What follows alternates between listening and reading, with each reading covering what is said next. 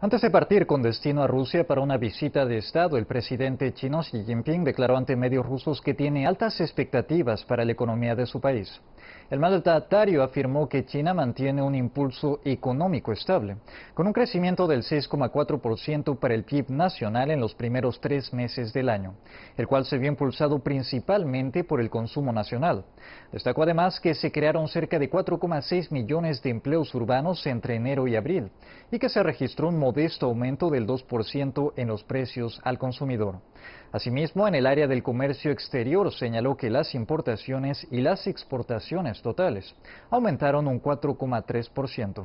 El presidente Xi agregó que los abundantes recursos humanos de China, el fuerte impulso nacional, el creciente dinamismo de la economía y la amplia capacidad de movilización ayudarán a respaldar el crecimiento continuo.